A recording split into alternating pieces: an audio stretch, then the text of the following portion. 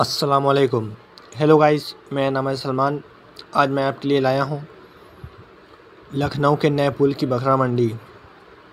जैसा कि आप लोग देख रहे हैं, ये एक बरबरा बकरा है, जो कि ब्रीडर है।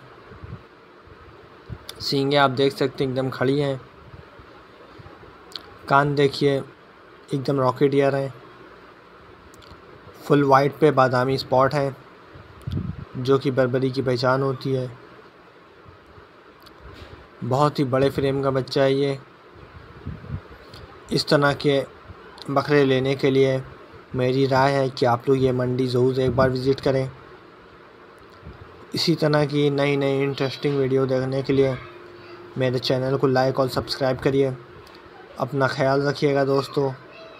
खुदा हाफिज़।